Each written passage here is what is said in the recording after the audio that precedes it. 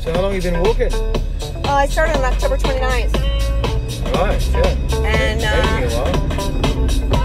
I take, yeah, about four months. We're nearly there. I know.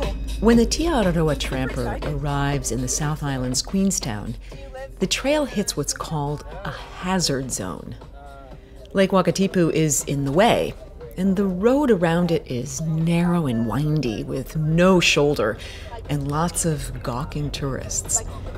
The only safe thing to do is to get a ride around the lake. You can do anything you want, you know that. Well, not anything. But it's at this point a tramper can decide to add a few extra days. And rather than head straight to the Greenstone track where the TA continues, she can walk on a great walk, meeting the official trail later. I got to the start of the Great Walk, the Routeburn, in two rides, camping in rain, and not sure I'd manage the 20 miles in wet, sloppy conditions.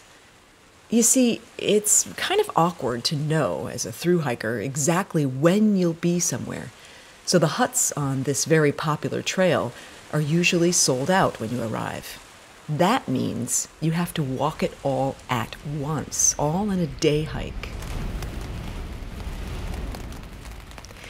But great walks have gorgeously groomed tracks. The walking was easy.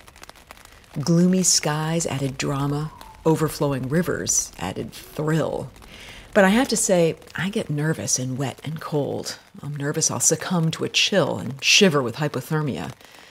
So I ask a ranger what it will take to camp.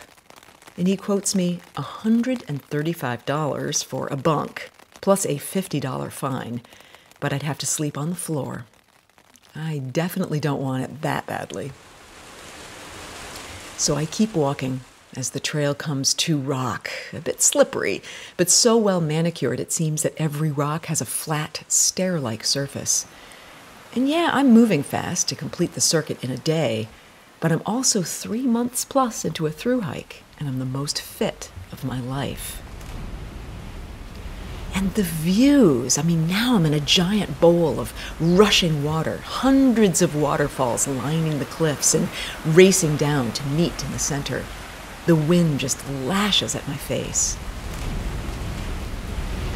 I go up and over to a beautiful lake now. The dramatic peaks above wink at me through the mist.